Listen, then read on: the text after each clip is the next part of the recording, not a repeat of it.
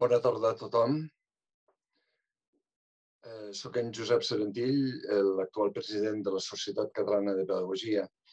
Sabeu que la Societat Catalana de Pedagogia és una societat científica que és filial de l'Institut d'Estudis Catalans. El nostre objectiu és eh, difondre eh, totes les línies actuals d'investigació pedagògica i eh, bé, eh, d'això es tracta el nostre eh, seminari web eh, d'avui. Eh, és un plaer per mi eh, presentar a la directora de la revista, la Ruth Vilà, eh, que ens farà de coordinadora d'aquest seminari, seminari web.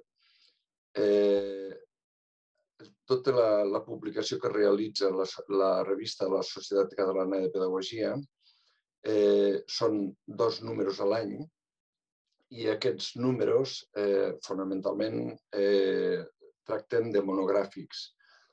Eh, L'últim monogràfic que, que tracta és eh, el tractament de les necessitats educatives especials dels alumnes a través de dues tècniques. Com que tot això us ho presentarà la Ruth millor que no pas jo, simplement es tractava d'això, de donar-vos la benvinguda, un plaer per nosaltres que estigueu aquí. Doncs, Ruth, endavant quan vulguis.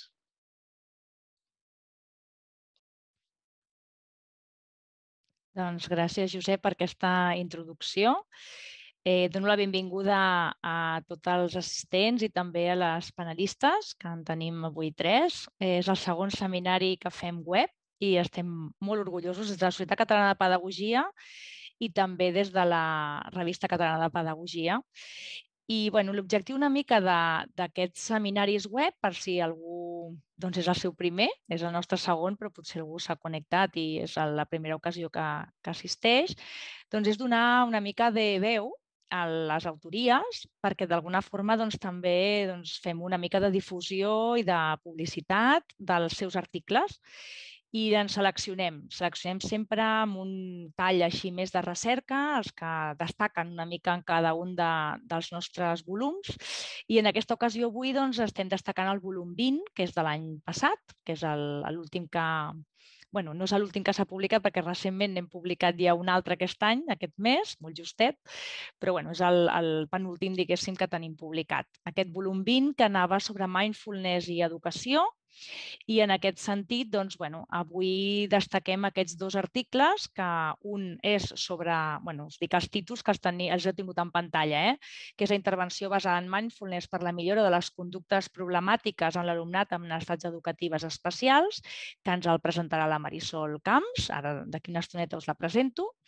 I el segon article d'avui és eh, es titula Beneficis de la musicoteràpia en alumnat amb TDAH, una revisió bibliogràfica i que ens presentaran dues de les seves autores, que és l'Alba Tornero i la Clàudia Cortés, que també en breu us les presentaré.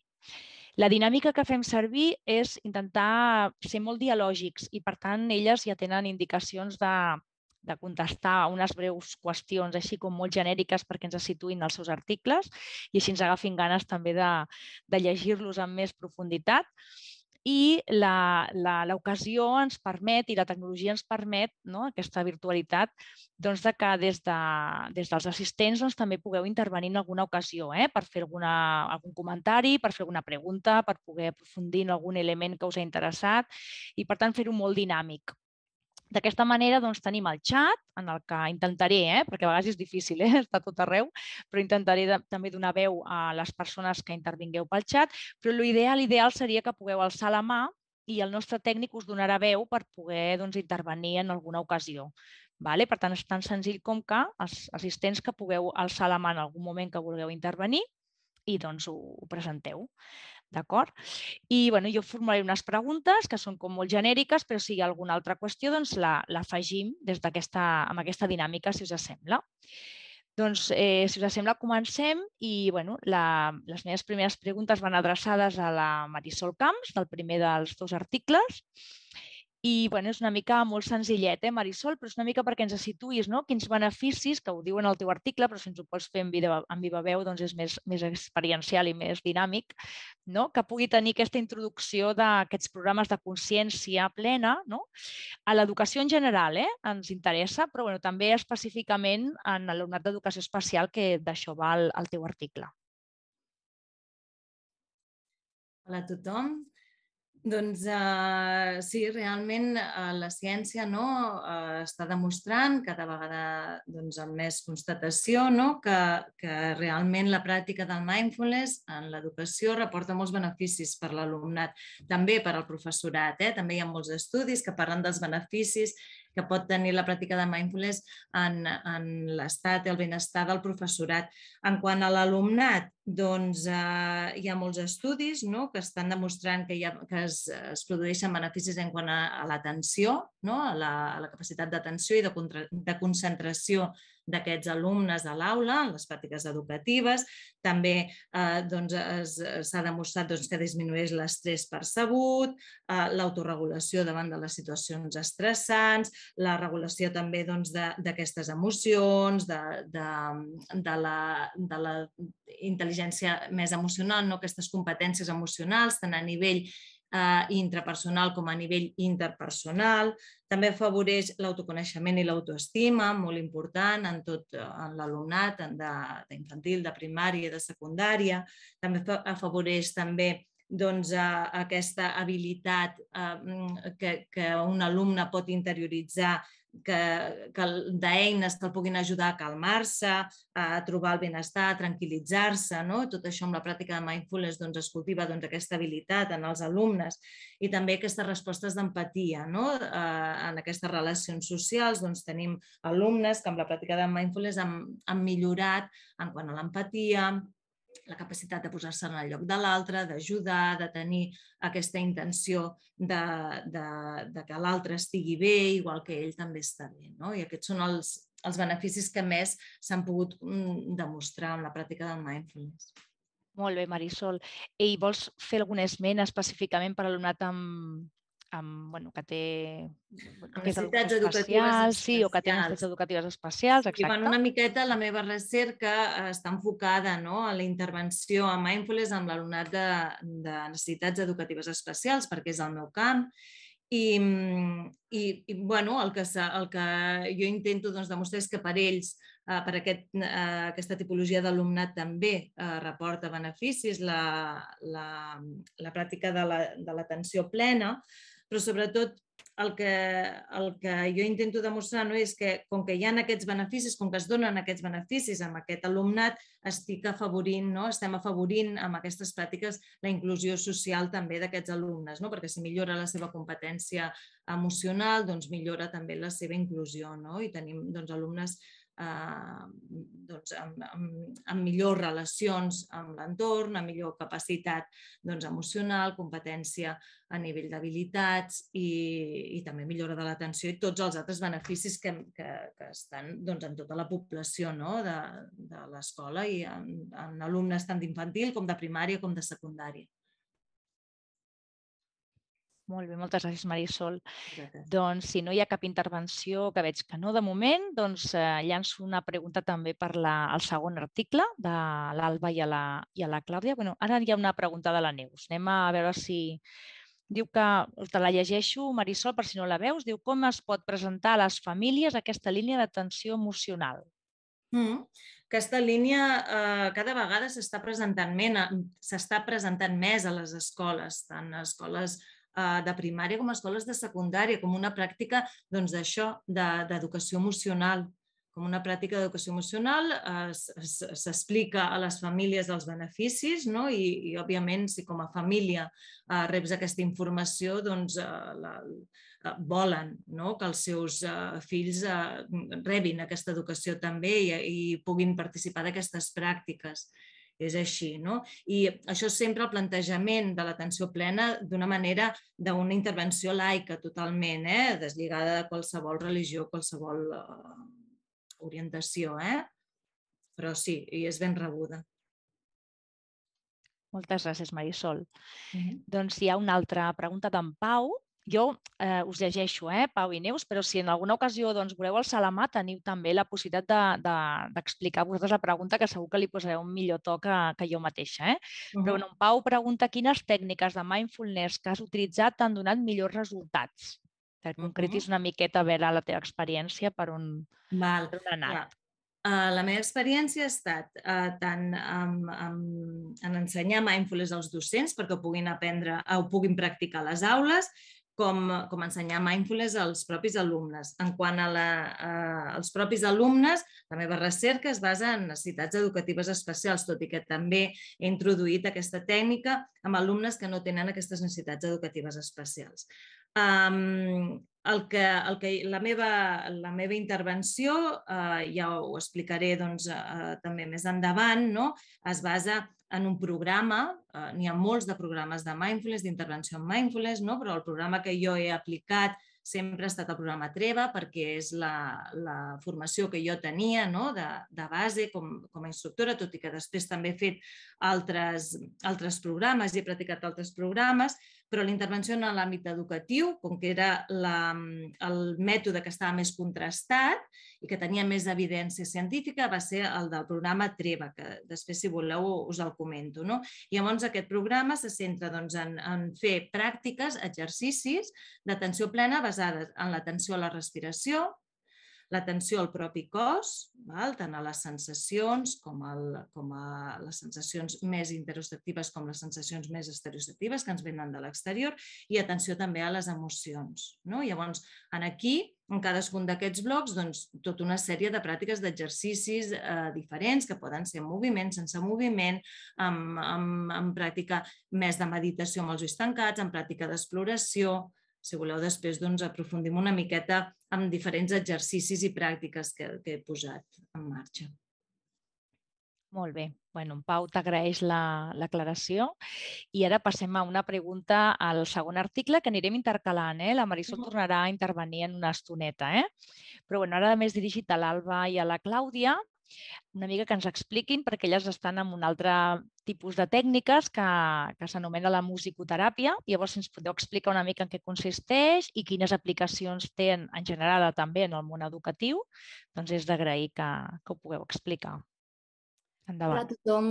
Eh, bé, la musicoteràpia consisteix en l'ús de la música amb elements musicals, com pot ser el so, el ritme, la melodia, l'harmonia, realitzat per un professional qualificat eh, que no un mestre de música, eh, té un enfocament totalment diferent a l'hora de treballar, que s'anomena musicoterapeuta. Val? Eh, es treballa amb un pacient o amb un grup de pacients eh, per facilitar la seva comunicació, expressió, eh, interrelació, aprenentatge i bueno, amb la finalitat d'atendre les seves necessitats eh, emocionals, socials, cognitives, físiques i bueno, el que tracta és d'aconseguir una millor de la qualitat de la seva vida a les persones i bueno, en concretament de, de l'alumnat amb TDA, que és del que va el nostre article. Moltes gràcies, Clàudia. Doncs una mica eh, la segona pregunta que us volia formular era aquesta, no? que en concret en, amb aquest alumnat, no? amb aquest trastorn de dèficit d'atenció i per activitat, doncs, bueno, quins beneficis li heu trobat, segons la vostra recerca, eh, de la musicoteràpia? Val, després d'analitzar els, els diferents articles, hem comprovat que la musicoteràpia, evidentment, beneficia a l'alumnat amb TDAH en l'àrea afectiva, l'àrea social, la comunicativa, eh, la cognitiva i també de, en la resposta musical. En quant a l'àrea afectiva, eh, aquest alumnat és un alumnat eh, insegur, molt frustrat i aleshores incrementa la seva confiança en si mateix, redueix la seva frustració i ansietat i, per tant, potencia la seva expressivitat eh, de sentiments, que normalment no solen, no solen fer. En quant a l'àrea social, pues, incrementa la seva consciència social, eh, fet que disminueix les seves conductes inadaptatives en, en el context. Eh, pel que fa a l'àrea comunicativa, eh, aquest, aquest alumnat no, no és propi que inici una conversa i permet que inicien i mantinguen la seva, una conversa i també que augmenti la seva habilitat expressiva eh, i creativa. Quant a l'àrea comunicativa, és un alumnat que evidentment no té atenció incrementa la seva atenció i com a conseqüència el seu aprenentatge, és, ensenyament-aprenentatge és molt millor i la seva memòria recent també augmenta. I finalment, en quant a l'àrea de resposta musical, eh, permet obtindre una estructura d'un comportament adequat, ja que tenen que estar molt més eh, centrats i focalitzats en el que estan realitzant. Molt bé, Clàudia. Jo ara em sorgeix un dubte que no estava previst, eh? però també em plantejo no? que si aquesta tècnica no cal ser experta en música, no? Però a més a més tens alumnat de, amb necessitats educatives especials, doncs quina formació han de tenir per poder fer servir aquesta tècnica? A veure, sí que hi ha que tindre una, una formació, evidentment. eh, però el que jo em referia abans, no sé si era que eh, no és el mateix eh, un mestre de música que està focalitzat en ensenyar les tècniques eh, musicals, eh, bueno, com és una negra, una blanca, eh, a l'hora de l'enfocament d'un musicoterapèutica que es basa en que aquestes persones eh, tinguin millor autoestima, eh, es socialitzen millor, tinguin més centrats, reduïsquen la seva hiperactivitat, el seu enfocament eh, es basa en, en saber els interessos d'aquest alumnat i poder treballar amb ells. En canvi, el mestre de, de música no busca això. Per tant. Molt bé, molt, molt ben aclarit, Clàudia, merci. Gràcies. Doncs, si no hi ha res al xat, que crec que no, i ningú ha alçat la, la paraula, doncs tornem a, a fer una pregunta que en aquest cas és genèrica i que ens pot servir pels dos articles. Eh? No sé si bueno, que comenci la, la Marisol, en tot cas, si, si volem, i així anem intercalant. Seria una mica, a veure si es, si es pogués fer un breu resum de, perquè són dos articles que tenen un enfocament metodològic específic i per tant hi ha una, una recerca al darrere. I llavors, bueno, doncs una mica veure la metodologia que hi ha, els objectius, una mica que perseguíeu, els participants no? o, o la mostra que heu tingut en, en, en dos casos. Vale? Llavors, una, no sé si donem primer la, la paraula a la Marisol, va bé? Sí. Molt bé. Val. Bé, eh, la recerca que, que es planteja, que s'explica en aquest article, és una recerca que vaig fer amb, amb un grup d'alumnes, que eren eh, alumnes amb, amb necessitats educatives especials, però era una aula eh, amb greus alteracions de conducta. Val? Una miqueta la meva idea era eh, demostrar no? que amb la pràctica de l'atenció plena, amb la pràctica d'exercicis de mindfulness a diari, durant una sèrie de setmanes, que van ser sis, eh, podia millorar la conducta d'aquests alumnes. No? Llavors, eh, la mostra, el que, el que vaig fer va ser agafar vuit alumnes, d'aquests eh, tots tenien, a part d'altres alteracions, alteracions i altres trastorns, tenien un trastorn conductual, val? hi havia eh, dificultats en la regulació de la conducta greu, i, i llavors vaig dividir el grup amb quatre alumnes que van ser... Penseu que és un grup molt reduït perquè a les aules d'una escola, el context és una escola d'educació especial i les aules d'educació especial tenen com a màxim això, no? 10, 12 alumnes, 14 alumnes. Per això la mostra és tan reduïda. Llavors vaig agafar aquest grup, que era un grup de 8 alumnes, justament perquè hi havia molta alteració de la conducta, i un, quatre alumnes van ser eh, el, els que vam fer la pràctica de mindfulness durant sis setmanes i quatre alumnes van ser el grup de control. Val? Llavors, una miqueta el que, el que es va fer, no? l'estructura d'aquest programa. Estava basat en el programa Treva, com, com us he comentat, però havia de tenir una sèrie d'adaptacions perquè molts dels alumnes tenien també una discapacitat intel·lectual, no? i llavors el plantejament d'alguna de les activitats que es plantegen en aquest programa TREVA no eren viables. No? O també hi havia d'haver adaptacions més de tipus, a, a part de metodològic, doncs adaptacions a l'hora d'introduir, a l'hora de, de respectar el seu temps, a l'hora d'exemplificar de, doncs, una miqueta i modelar una miqueta el que s'estava esperant d'ells, no? i van haver tota una sèrie d'adaptacions eh, per poder aplicar aquest, aquest programa a una aula d'educació especial, no? de nens amb necessitats educatives especials. Van ser, com us dic, sis setmanes. En el que es va abans, no?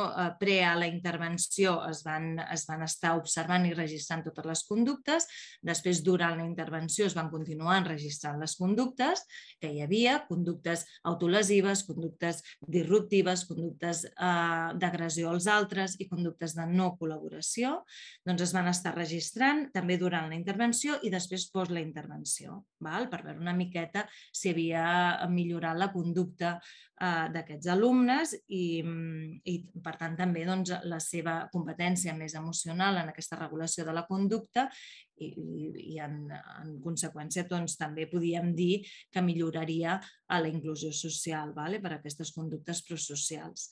Um, en aquesta intervenció el que es feia era, uh, durant, això, durant sis setmanes, uh, hi havia una, una intervenció de 15 minuts al matí, i 15 minuts a la tarda. Val?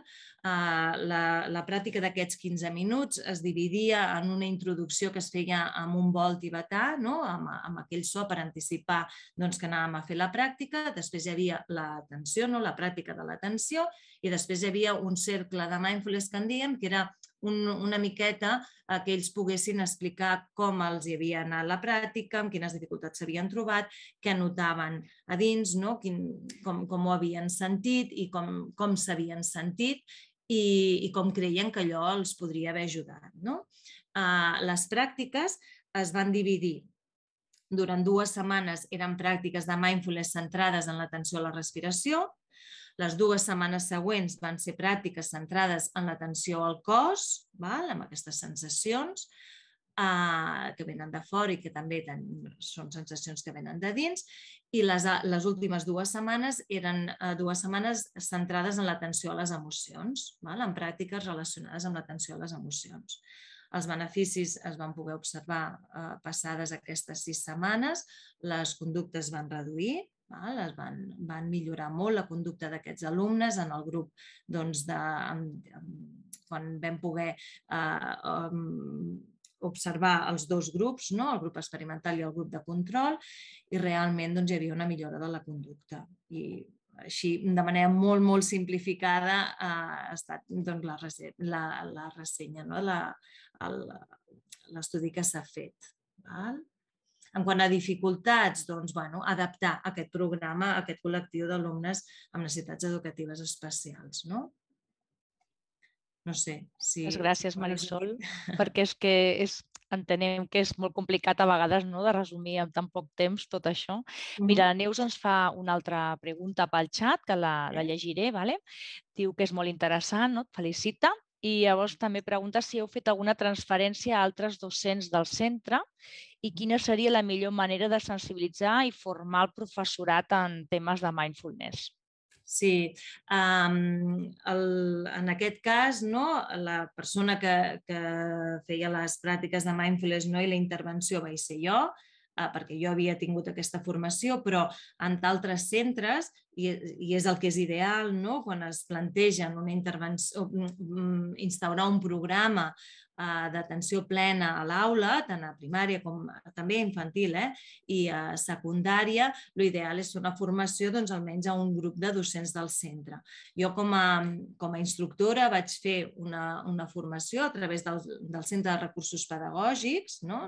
eh, que hi ha a la zona, doncs, a tot un, un institut eh, que volia doncs, implementar aquesta, aquesta pràctica del mindfulness de l'atenció plena a les aules. I llavors ells van, van no, una miqueta coneixent el centre i veient quina era la viabilitat del programa, doncs el van començar a implementar. Mm. Molt bé. Doncs mira, al mateix temps l'Antoni Portell també afegeix al que deia la Neus Lorenzo, estava afegint també que si aquestes pràctiques les, les vas fer, a part de la formació que vas fent al centre, si també les feies en presència dels docents, que suposo que també és una manera d'acompanyar-los sí. en la formació, no? Tant eh, en les aules d'educació especial sempre hi ha dos professors al, a l'aula, sempre són dos docents a l'aula, llavors jo sempre estava acompanyada, també per al registre de les conductes i, i per veure realment si les conductes estaven reduint-se, um, em va anar molt bé que hi hagués una altra persona, però sí que en el centre es va acabar, arrel d'aquesta recerca que vaig fer, es va acabar implementant a, a moltes aules del centre. Tant a primària, és una escola molt gran d'educació especial i tant a, a les aules de primària es va implementar moltes aules i a les aules de secundària també. Una miqueta va ser no? veient els efectes i veient doncs, com ho rebien els alumnes. Penseu això, no? que, es va, que es va demanar molt que els alumnes ens diguessin com com ho estaven vivint, doncs el, eh, quan, quan jo doncs, vaig explicar, perquè, perquè havent fet una, una, una recerca doncs, havia d'exposar-ho al claustre, doncs ells també van voler implementar-ho. El que passa que s'ha de tenir una formació. Eh? No, eh, llavors vaig, poder, vaig haver de fer aquesta formació per als docents. Molt bé, Marisol, va ser una activitat de transferència important, no? Veiem. Mm. En Pau genera una altra pregunta també, que el que comenta és que, que a partir de quina edat seria beneficiós o és possible aplicar doncs, aquest tipus de pràctiques en l'alumnat? Mm. Jo penso, i, i per al que he vist, eh, a veure, sembla molt agosarat eh, dir que a partir de P3 ja es pot eh, començar a fer... Jo tinc tres fills, val?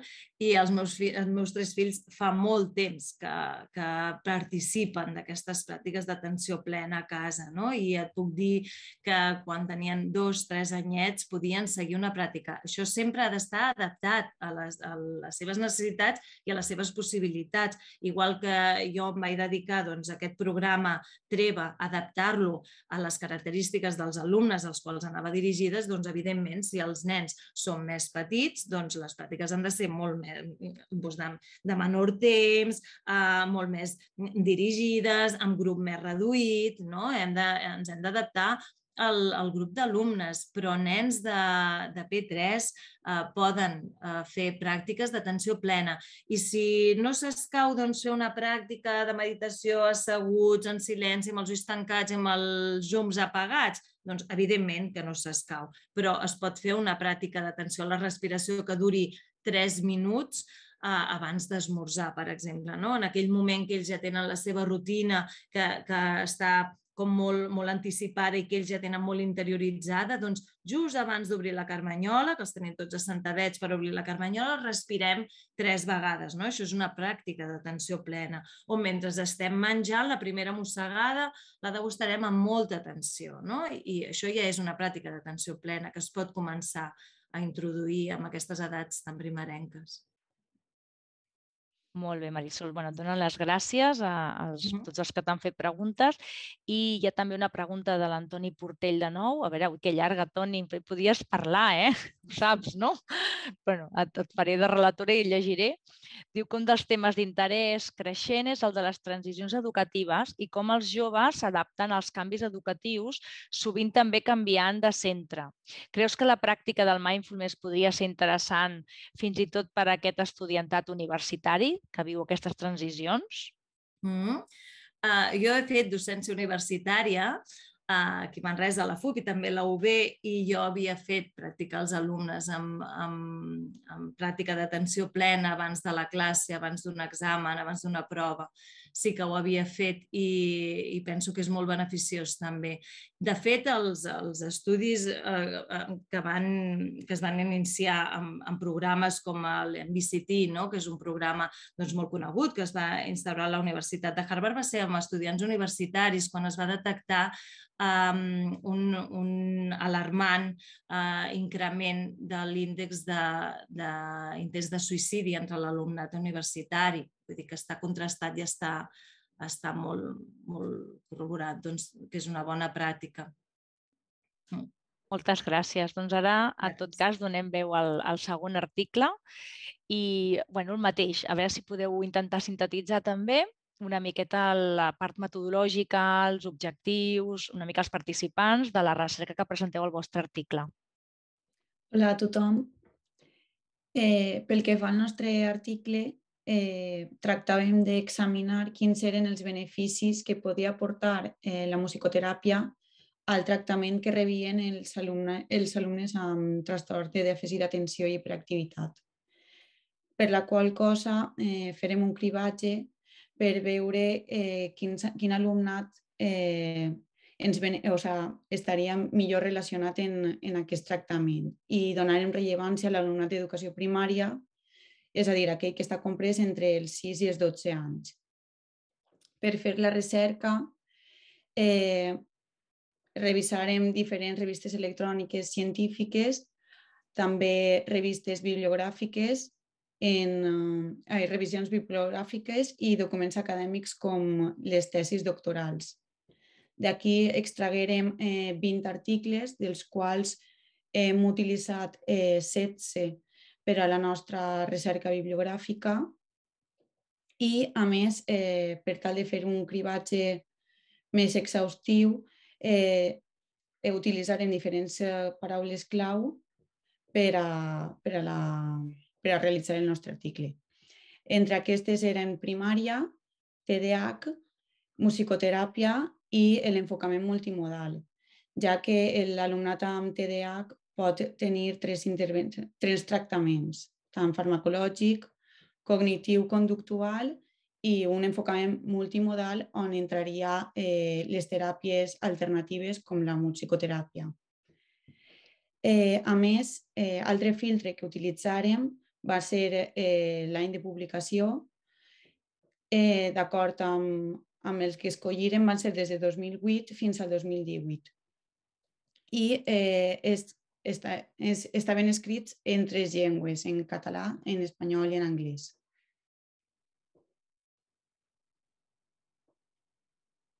No sé si vols dir alguna cosa més, Clàudia. No, no, no, no. Està perfecte. Molt bé, noies, gràcies. Si no hi ha cap pregunta en el xat o en els de moment no, bueno, teniu oportunitat. Mira, si n'hi ha una per la, de la Neus Lorenzo, altra vegada, que us pregunta, bueno, us dona felicitacions pel tractament de la música com a eina de comunicació emocional. No, no és cap pregunta, és un comentari i us feliciten.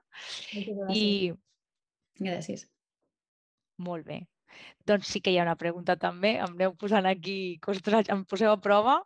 Eh, us pregunta si treballeu amb altres professors a l'aula, igual que també ens ha explicat la Marisol Camps, no? que treballaven amb el professorat, doncs a veure si vosaltres també heu tingut alguna experiència, tot i que l'article és una recerca bibliogràfica, eh? però bueno, claro. va, Sí, Clar, nosaltres realment no hem tingut cap experiència amb, amb professional musicoterapeuta perquè ha sigut una revisió bibliogràfica i de fet la varen fer també pensant en que no hi ha estudis pràcticament sobre aquesta alternativa eh, a la farmacologia i, i bueno, aquest era el nostre també interès i que es poguera donar a conèixer eh, la musicoteràpia, ui, no la musicoteràpia amb l'alumnat amb TDAH.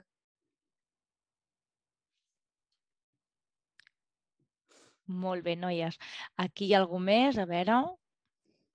Diu que la metodologia anglesa hi ha la, la suggestiopèdia d'Israel. Si sabeu si s'ha aplicat a Catalunya o ho heu trobat en alguna de les eh, recerques bibliogràfiques que heu fet, en algun article.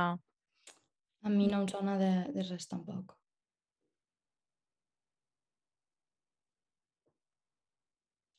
Doncs donem la paraula a en Josep Sedentil, que aixeca la mà i us vol fer un comentari.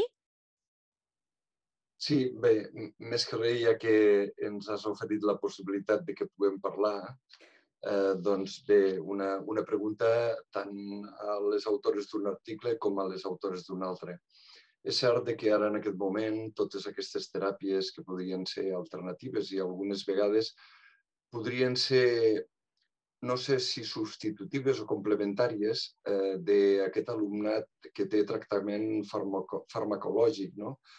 Llavors, doncs, eh, tenim també alumnat, eh, per exemple, dintre del, de, les AIS. Les AIS són les aules d'integral de suport que van adreçades a alumnes que tenen trastorns mentals greus, amb l'objectiu de que una vegada eh, passin per aquestes aules tornin a agafar l'equilibri i el benestar emocional per tal de que tornin una altra vegada a l'aula ordinària. De quina manera podríeu eh, aconsellar eh, aquest professorat que utilitzi aquestes tècniques amb l'objectiu aquest? No crec que sigui substitutiu de la, eh, del tractament farmacològic, però sí que eh, obtenir un major equilibri i un major benestar eh, personal per tal de que puguin tornar una altra vegada a l'aula ordinària. tant a les unes com a les altres. Sí, parlo? Um, està molt bé. Bueno, M'agrada molt que facis aquesta pregunta. Treball, bueno, és que jo treballo a l'EAP i llavors um, estic en, en contínua coordinació no, amb els professionals de les AIS que hi ha a la meva zona. I, i realment a l'AIS eh, que, que tinc, amb qui jo tinc contacte, les dues AIS on jo tinc contacte, um, estan aplicant tècniques de mindfulness uh, per, uh, tant per uh, la relaxació com per a millorar aquesta competència emocional, eh, tant a nivell intrapersonal com interpersonal i, i amb molt, uh, de manera bueno, uh, molt positiva. No? I s'estan observant també molts beneficis també per reduir l'angoixa, l'ansietat, uh, aquest estrès, no? per poder regular aquestes emocions, per l'autocontrol, no?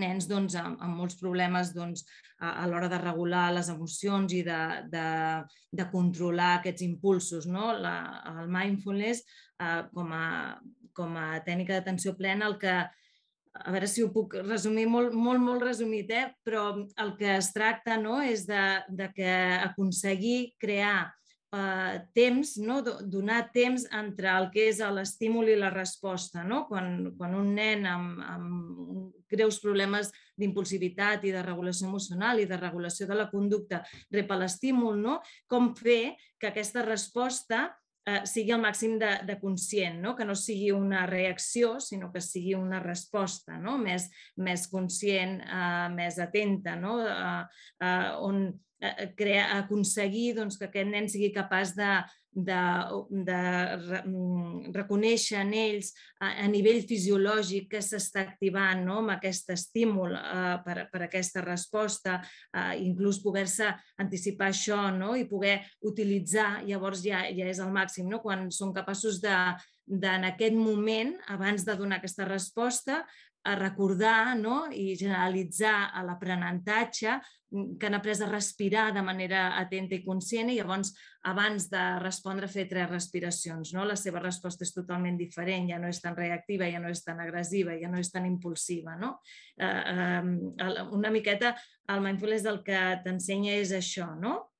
Que aquesta resposta sigui atenta i sigui conscient. I llavors, amb, amb l'alumnat doncs, amb, amb patologia mental que està en aquestes aules integrals de suport i que el que volem és que puguin retornar a l'aula ordinària, però un cop els haguem dotat d'aquesta competència a nivell emocional i a nivell d'estratègies de, de poder eh, tenir major benestar no? I, i, i, i puguin tenir una millor relació amb l'entorn, eh, està, està fantàstic, no? és, és, molt, és molt bona pràctica. A, a, al marge de que estiguin prenent medicació, eh? és, és, és com complementari, no? Són aquestes eh, teràpies de tercera generació que, que estan, s'està observant doncs, que són complementàries a aquest tractament farmacològic, no? No sé si m'he allargat massa, perdoneu. I el nostre cas és pràcticament igual. Marisol ho ha, resumit, ho ha resumit molt bé, però en el nostre cas amb la, amb la música, clar. Al final és alumnat al qual hi ha que autorregular, tenen que eh, aprendre estratègies, no? i aquestes estratègies eh, després puguen generalitzar-les i que tinguin una funcionalitat després ells mateixa i bueno, és pràcticament el que has dit tu, Marisol, bàsicament. Moltes gràcies, noies, per aquestes respostes compartides. Mm. Eh, ens quedaria una última qüestió i ja bueno, s'acosta l'hora de tancament, amb la qual també l'adreço a, a tots dos articles, eh, us podeu distribuir com vulgueu, que serien les vostres conclusions, no? una mica les aportacions que cada un dels articles dona i pel qual també doncs, pot ser un am perquè també doncs, les persones que potser encara no l'han llegit doncs, tinguin moltes ganes de, d'agafar els vostres articles així amb, amb moltes ganes. Així que us adreço a aquesta última pregunta i podem començar bueno, la que vulgui. Eh? Voleu començar vosaltres? Que sempre... Com vulguis. Sí? Bé, nosaltres creguem que, que la conclusió a la que hem arribat és donar de rellevància a les diferents possibilitats de tractament que puguen tindre aquests alumnes amb TDAH però donant eh, més suport a aquestes teràpies alternatives com puguen ser la musicoteràpia i a més aconsellant eh, tant sessions individuals com col·lectives i fent que la família siga un membre actiu en tot el procés. A més, eh, l'objectiu principal és que els propis alumnes, com hem dit abans, s'autoregulen i, en i que ho puguen fer en diferents contextos reals. D'aquesta manera, eh, creiem que la musicoteràpia, encara que és una teràpia actual i molt recent, d'acord amb els objectius que hem aconseguit, ai, amb els resultats que hem, hem obtès tan satisfactoris eh, i a més tenint en compte que aquest, aquest trastorn és el que més incidència té en la població infantil, aproximadament un 5%, eh, és important donar a conèixer aquestes noves teràpies perquè pugui ser beneficiós per a ells ja que eh, s'aconsella que comencen el tractament en edats primerenques per la plasticitat del cervell.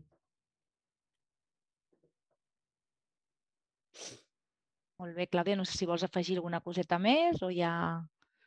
Eh, bueno, és el que ha dit la meva companya Alba. És, bueno, sí que podria aportar que que la musicoteràpia a l'àmbit de la lectoescriptura eh, beneficia aquest alumnat, que abans no ho he dit, i que en quant a, al tractament de la musicoteràpia eh, resulta molt beneficiós eh, emprar la, la percussió. Val? Eh, el fet de que ells estiguin concentrats eh, i puguen manipular aquest instrument eh, els ajuda moltíssim. Molt bé, Clavé Elba, bueno, des del xat la, la Neus us agraeix no, el vostre treball i diu que, bueno, a part dels beneficis que ja els heu posat de manifest, que també serà molt útil llegir el vostre article per totes les referències bibliogràfiques que conté, no, de fonamentació teòrica. Gràcies. Molt bé, doncs et donem la, la veu a tu, Marisol, perquè també tanquis amb les teves conclusions i aportacions. Val una miqueta no? el que jo penso que porta l'article doncs és, és una recerca més, no? és, un, són, és una constatació doncs, de que la pràctica uh, de l'atenció plena a les aules no? en educació és possible, no? que, que es pot implementar un programa de pràctica de l'atenció plena a l'aula i que això reporta beneficis, no? tant en alumnat amb necessitats educatives especials, uh, que és en aquest cas, com en alumnat que, que doncs, hi ha unes necessitats necessitats eh, educatives, a vegades de suport específic o, o necessitats ordinàries, no? no hi ha necessitats educatives especials, sempre és beneficiós, no? i també inclús per al professorat. I també no, eh, podem, a vegades eh, hi ha hagut algun, alguna escola que inclús ha volgut implementar-ho a casa no? i ha muntat en aquí un, un bloc amb tot d'exercicis que s'estaven fent a les aules perquè a casa també ho poguessin eh, practicar. El més important jo penso no, que és que constatem que, que quedi reflectit doncs, amb, a, a través d'articles amb rigorositat científica doncs, que hi han uns beneficis que estan demostrats de la pràctica de l'atenció plena, eh, que els alumnes doncs, milloren en, aquesta, en aquest reconeixement de les conductes problema, no? en aquest cas que, que està molt centrat en la conducta, aquesta recerca, um, en què tinguin aquesta voluntat de millorar aquestes conductes, no? donar visibilitat a això, no? que l'alumne vol millorar la seva conducta li estem donant una eina que li pot servir molt i és una, no, l'atenció plena és algo que tots, eh, és una possibilitat que tots tenim a dintre. No? Eh, només hem de, hem de saber la manera de poder posar atenció plena a allò que estem fent en aquí i ara, no? amb, amb, amb amb, amb aquesta pràctica més, més formal, però com a pràctica informal doncs, és una eina que, que tots podem posar en pràctica. No? Llavors, eh, reconèixer aquests beneficis és molt positiu. Aquesta interiorització no? de, de tècniques com l'atenció a la respiració, com per, per poder autorregular-te emocionalment, eh, aquesta capacitat també d'inhibir les respostes automàtiques impulsives que tots tenim, no? i amb l'alumnat que, que he presentat, doncs, evidentment que hi és, però tots tenim tenim a vegades unes respostes que diem uf, com he reaccionat així, no? d'aquesta manera tan impulsiva, d'aquesta manera tan automàtica, doncs és una eina que, que és molt, molt beneficiosa per això, per poder detectar aquestes emocions i ajudar-nos a gestionar-les, doncs eh, també eh, és una eina doncs, molt, molt beneficiosa, també doncs, per millorar el benestar, que és el que tots volem, no? estar millor, doncs, tenir major benestar, doncs, ens estan dient doncs, que és una tècnica i amb aquest article doncs, es constata no? I, es, i es demostra que és una tècnica eficaç per això, que més, que més eh, beneficiós no? que aquest benestar, aquesta satisfacció també de, de poder millorar en competència emocional i, i sobretot doncs, en el cas de l'article aquesta reducció de les conductes més problema no? I, i de la intensitat d'aquestes conductes problema per millorar la inclusió, no? la inclusió de tots. Ja està. Gràcies, gràcies. Moltíssimes gràcies. Moltíssimes gràcies a, a vosaltres. Sé que, bueno, que algunes heu fet molt d'esforç per estar aquí avui. Uh, L'Antoni Portell també us dona l'enhorabona a totes tres per la feina, que els temes són interessants i que, bueno, que d'alguna forma, doncs, bueno, que moltes gràcies per haver estat aquí i bueno, s'afegeixen altres comentaris de, de felicitacions, de la Sílvia també, bueno, estan aquí posats al xat. Si algú la veu, ara seria el moment perquè estem a punt de tancar. I si no, doncs, bueno, tanquem una mica no sense animar-vos doncs, a llegir els articles, que jo els recomano molt, tots dos, i, bueno, i també recomanar-vos que ja que tenim el volum eh, 21 ja publicat des d'aquest mes passat, doncs també us animo a que, a que el pugueu consultar a la revista és una temàtica molt diferent, la del volum 21, que són les pedagogies feministes als països catalans, però bueno, que també és prou, prou interessant, com sabeu, doncs això, no? des de la Societat Catalana de Pedagogia i especialment des de la Revista Catalana de Pedagogia intentem abarcar diferents temàtiques. També animar-vos que tenim un col obert per tecnologia, si algú està amb la tecnologia educativa, doncs aquest col està obert ja per enviar articles fins al mes de juny i, bueno, i, i seguint animar-vos a, a que aneu fent difusió de la nostra revista que tant estimem.